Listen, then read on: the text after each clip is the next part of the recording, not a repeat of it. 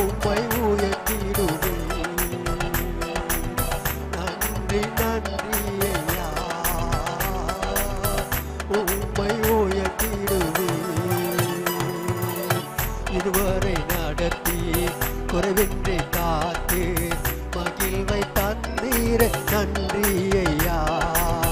இதுவரை நடத்தி குறைவின்றி காத்து மகிழ்வை தந்தீர. நன்றி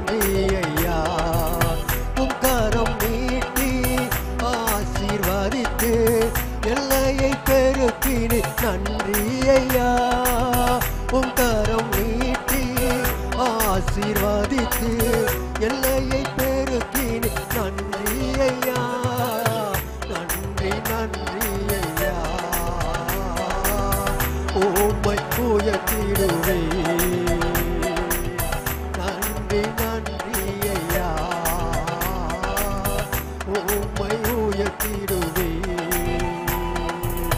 இதுவரை நடத்தி குறைவின்றி காத்து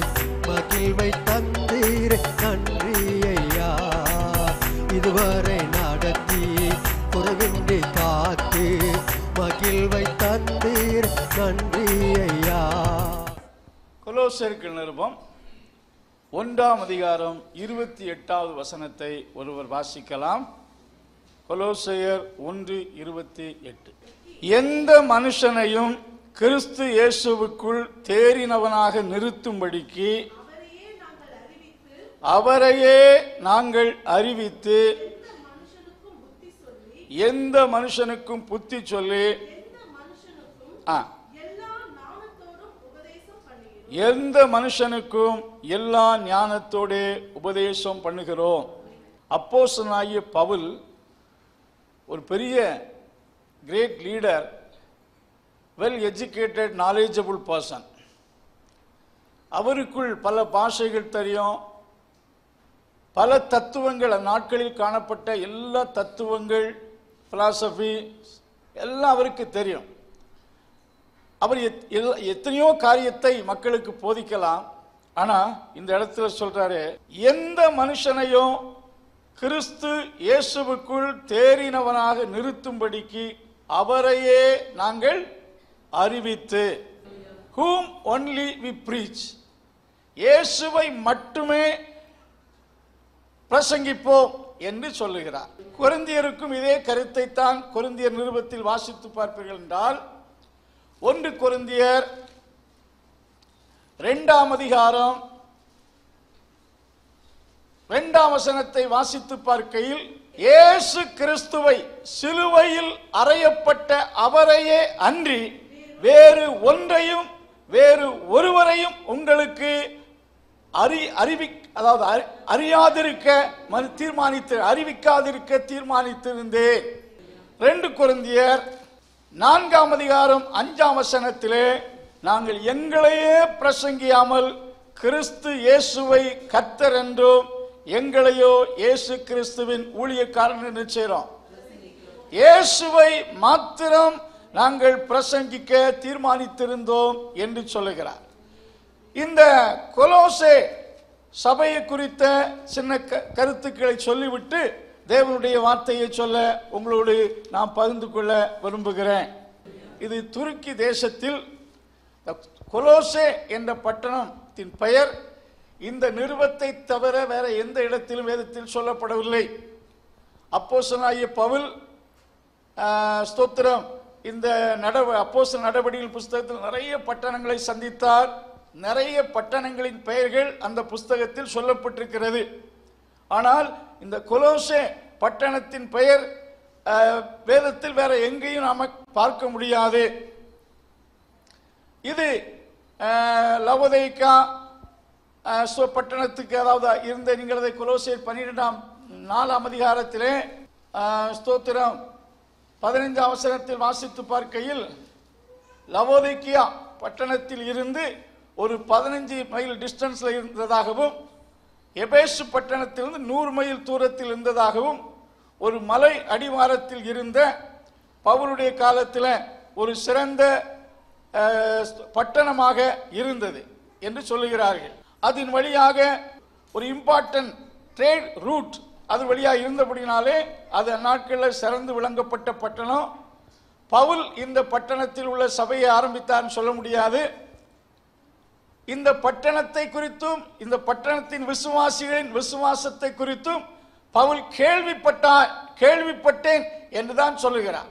இந்த சபை எப்படி உருவாக்கப்பட்டது என்று சொன்னால் அப்போசனாகிய பவுல் எபேசுவிலே மூணு வருஷம் ஊழியம் செய்தார். அந்த ஊழியம் செய்த நாட்களில் கிட்டத்தட்ட ஆசியாவில் உள்ள எல்லா பகுதியில் பகுதியிலும் கத்தருடைய வார்த்தை என்ன செய்தான்? பரம்பிற்று என்று சொல்லப்பட்டிருக்கிறது. அப்போஸ் நடவடிக்கை புஸ்தகம் பத்தொன்பதாம் அதிகாரம் இருபதாம் வச- பத்தாம் வாசிங்க. பத்தொன்பது பத்து வாசிங்க. கிட்டத்தட்ட கிரேக்கர்களும் யூதர்களும் ஆசியாவில் இருந்த எல்லாரும் கத்தருடைய வார்த்தை கேட்டார்கள். அந்த காலகட்டத்தில் இந்த கொலோசே பட்டணத்தில் இருந்த பிலோமோன் இன்னும் அந்த கத்தரிக்கு ஸ்தோத்த எப்பாப்ரா இந்த மனிதர்கள் போன்ற சில மனிதர்கள் அங்கே கத்தரிக்கு ஸ்தோத்திரம் சென்று அவர்கள் மூலமாக ஏழாம் வசனத்தில் வாசிக்கும் போது பிரியமான உடன் உங்களுக்கு எப்பாப்ரா?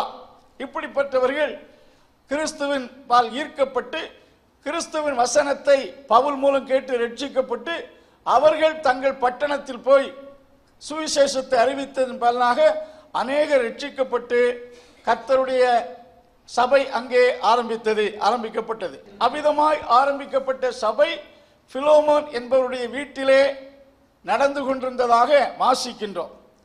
இந்த சபையில் அதிகமானவர்கள் யூதர்கள் அல்லாத புரஜாதிகள் தான் ரட்சிக்கப்பட்டார்கள். அந்நாட்களில் அந்த கொலோசிய பட்டணம் ரோமருடைய கட்டுப்பாட்டின் கீழ் இருந்தது. இந்த பட்டணத்தில் நிறைய ஸ்தோத்திர துர்போதனைகளும் அஹ், ஸ்தோத்திரம். நிறைய புதிய புதிய கருத்துக்களும் வந்து குழப்பிக் கொண்டிருந்த காலகட்டத்தில் இந்த சபையின் போதகராயிருந்த எப்பாப்ரா பவுலிடத்தில் போய் சபையின் நிலவரங்களையும் இன்னமாயி யூதர்கள் ஒரு விதத்தில் ஒரு- விதத்தில் வந்து விருத்த சேதனம் செய்தால்தான் ரட்சிக்கப்பட முடியும். விருத்த சேதனத்தையும் நியாயப்பிரமாணத்தையும் கை கொள்வது மிக அவசியம் என்று ஒரு விதத்தில் கருத்து போதிக்கிறார்கள். இன்னும் சிலர் சொல்றாங்க ஸ்தோத்திரம் நாங்க தான் கடவுள்கிட்ட ரொம்ப நெருக்கமா இருக்கிறோம். எங்க உபதேசத்தை கேட்டாதான் நீங்க ஆவிக்குரிய வாழ்க்கையில பரிபூர்ணம் அடைய முடியும் என்ற கருத்தை போதிக்கிறார்கள். இன்னும் சிலர் சில தத்துவங்களை போதிக்கிறார்கள். இப்படி பலவிதமான கருத்து வித்தியாசமான கருத்துக்கள் புதிதாய் ஆரம்பிக்கப்பட்ட சபையில் ஒரு சின்ன குழப்பத்தை அவர்கள் விசுவாசத்தை தடுமாறச் செய்யக்கூடிய ஒன்றாக காணப்பட்டதை உணர்ந்த எப்பாப்ரா பவுலிடத்தில் சபை நிலவரத்தை எடுத்து கூறுகிறார். ஸோ அவர்களுக்கு பவுல் இந்த நிருபத்தின் மூலமாக ஒரு சொல்யூஷன் ஒரு ரெமெடியை உண்டாக்கும்படி இந்த நிருபத்தை எழுதி கொடுத்து அனுப்புகிறார். நாலாம் அதிகாரம் ஏழ ஏழாம் எட்டாம் வசனத்திலே பிரியமான சகோதரன் உண்மையுள்ள ஊழியக்காரமாகிய தீகுக்கு மூலமாகவும் உனேசு மூலமாக இந்த சபைக்கு அனுப்பப்படுகிறது. இந்த சபையில் காணப்பட்ட இந்த குழப்பத்தை எல்லாம் குழப்பத்துக்கு தீர்வாக வேற எதையுமே அவர் குறிப்பிட்டு சொல்லாதபடி கிறிஸ்து ஒருவரே எல்லா குழப்பத்துக்கும் தீர்வு என்பதை உணர்ந்து என்ன உங்களை தேர்ந்தவர்களாக்க பல கருத்துக்கள் சொன்னாலும் உங்க அப்போஸ்தலனை போல் சொல்கிறார் கிறிஸ்து ஒருவரே எல் கிறிஸ்துவை மட்டுமே நாங்கள் என்ன செய்வோம்? என்ன செய்வோம் சொல்லுங்க. அதாவது கிறிஸ்துவை பிரசங்கித்தார் என்று சொல்லப்பட்டிருக்கு. எந்த மனுஷனையும் கிறிஸ்துவுக்குள் தேறினவனாக நிறுத்தும்படி அவரையே நாங்கள் அறிவித்து கிறிஸ்துவை இந்த கொலோசிய நிருபத்திலே அவர்களுக்கு யார் என்று எப்படிப்பட்டவர் என்று காண்பிக்கிறார் என்றால் இரண்டாவது வசனத்திலே நம்முடைய பிதமாகிய தேவனாலும் நம்முடைய கர்த்தராகி இயேசு கிறிஸ்துவினால் கிறிஸ்துவை அவர் சொல்லுகிறார் ஜீசஸ் இஸ் அவர் லார்ட் கர்த்தர் இயேசு கிறிஸ்து நம்முடைய கர்த்தர் என்று அவர் குறிப்பிடுகிறார். கர்த்தர் மாஸ்டர் அவர்தான் எஜமான். அந்த நாட்களிலே ரோமர்கள் அந்த தேசத்தின் ரோம அதிபதியாகிய எம்பரரை கர்த்தர் என்று அழைத்தார்கள்.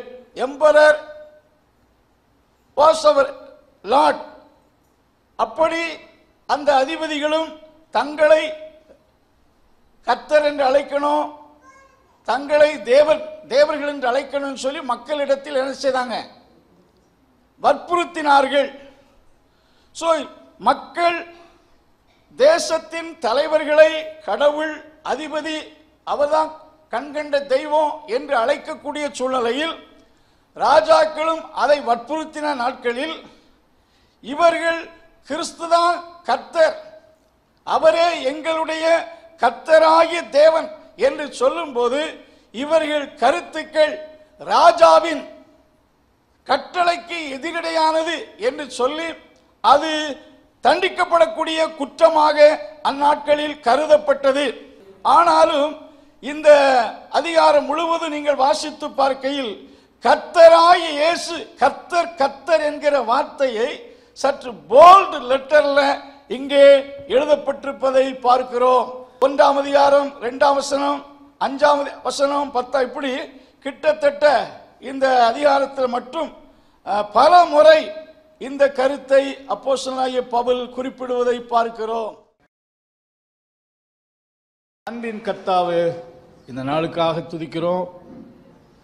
இந்த கொடுக்கப்பட்ட இந்த வார்த்தைகள் நம்முடைய பிள்ளைகளுக்கு ஆசீர்வாதமாக இருப்பதாக இந்த வாரத்தின் நாட்கள் ஆசீர்வாதமாக இருப்பதாக ஆண்டுடைய கிருபை யாவரோடு இருப்பதாக. இயேசு நாமத்தில் ஜபங்கள் நல்ல பிதாவே.